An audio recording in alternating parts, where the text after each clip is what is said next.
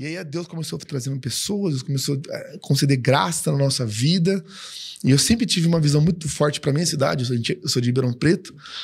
E eu amo Ribeirão Preto. E a gente nunca teve, assim, nunca teve sonho nenhum, ou propensão nenhuma de fazer algo. Ah, eu vou fazer algo nacional.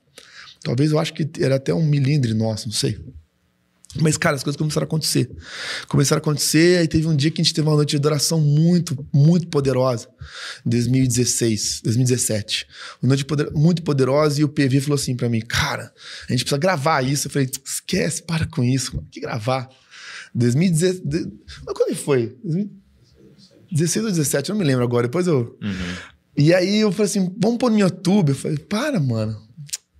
Vamos fazer igreja aqui, YouTube, esquece isso aí, cara. Falei, mano, vamos fazer isso. E a gente fez. A gente foi lá e gravou, fez uma noite de adoração sem nenhum tipo de. Eu, eu, assim, Deus conhece meu coração. Eu não, eu, não, eu não tinha nenhum tipo de expectativa. Nenhum tipo de expectativa. A gente não tinha, a gente tinha de fazer algo para adorar o Senhor ali. Cara, de repente, sabe, o Senhor soprou. Deus soprou um vento sobre nós na adoração e, e cara, as coisas começaram a acontecer, sabe? Foi eu, eu sinto com muito, eu sinto muito um sabor muito especial. Oh, eu também queria uma água, parceiro. Ah. Obrigado, Wes. Obrigado, irmão. Eu sinto até hoje assim uma, um sabor muito gostoso de tudo, que aconteceu, sabe? Tintim.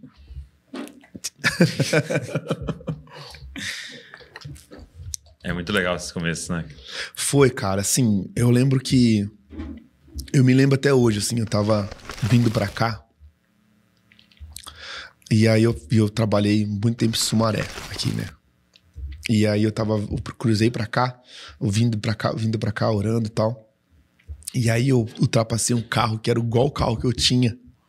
Quando você vinha? Quando eu vinha pra cá. E no mesmo lugar, assim. Aí eu foi como uma viagem no tempo, sabe? Eu comecei e, e o Espírito Santo começou a mensar no meu coração, cara. É, a gente nunca sabe o que, que vai acontecer em 10 anos, cara. Sabe. A gente não tem noção nenhuma, cara. Então a gente. Eu tava vindo e pensando sobre como que Deus pode fazer as coisas muito além do que a gente imagina. Uhum. E todo qualquer tipo de plano ou expectativa que a gente tem em si mesmo, ela já é, já é nula, cara. Porque o Espírito Santo pode pegar e mudar tudo. É. E se fosse perguntar para mim. Por tem que segurar tudo com mãos muito leves, né? Que Deus, o próprio Deus vai colocando na nossa mão, né?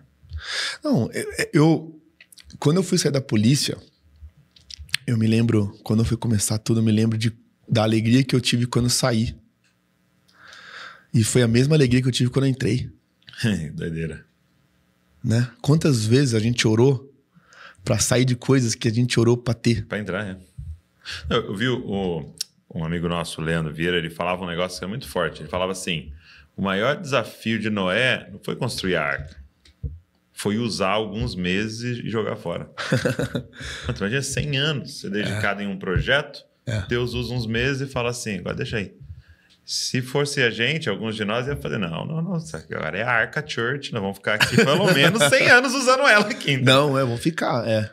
Então, você se dá as costas e fala, pronto, foi uma estação de Deus isso aqui, eu tenho outro negócio agora. Então, é, esse é um desafio para nós, cara. Muito. Eu, eu vim pensando nisso. Falei, quantas vezes eu tive situações aonde eu nunca achei, cara, que a gente nunca sabe como que vai ser. Eu, por exemplo, quando eu, eu passei a liderança dos jovens, 2020 agora, e eu, uma coisa que eu queria muito, eu queria passar no melhor momento. Uhum. Porque quando eu assumi, eu assumi no pior momento possível. Uhum. E é muito difícil você fazer algo. Porque você só fica com a sobra, parece. É. Você tem que reconstruir do zero. E, cara, é, é tão bom quando você, você pode dar continuidade. É. Né? O, o empurrão é muito maior, o embalo é muito maior. Aí você vê aquela, aquela passagem de bastão, né? Os dois estão correndo junto, né? É o momento mais importante, é. é, o momento que os dois correm juntos e passam pro outro, né? É, é decisivo. Uhum. E eu queria, cara, poder estar tá num momento bom. Então, em 2020, quando eu passei um momento de jovens, né, para um outro líder, um cara que preparado, um homem de Deus.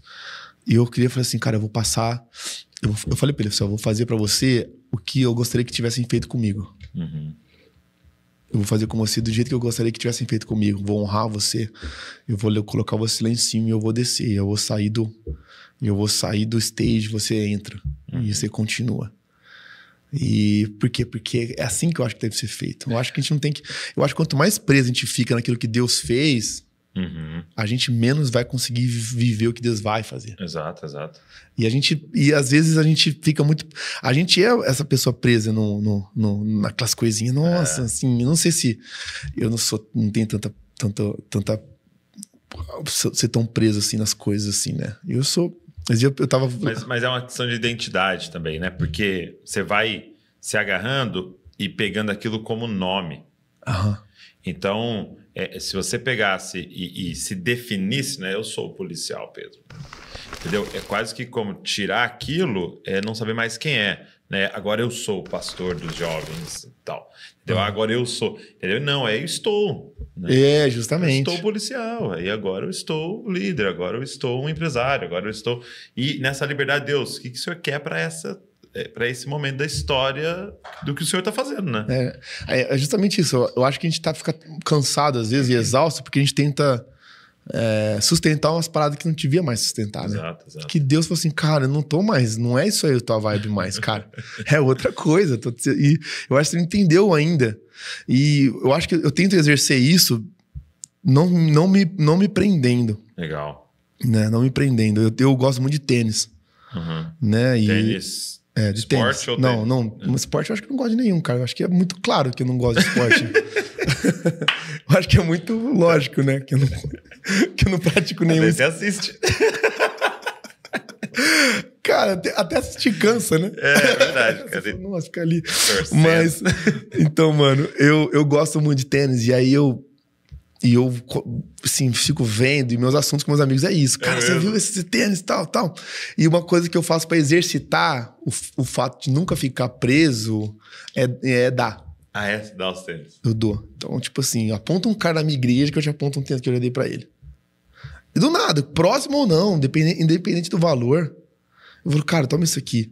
Eu tenho um prazer de olhar os caras e ver os caras usando assim. É, Falando, é. mano, olha aqui, conformosos são os pés.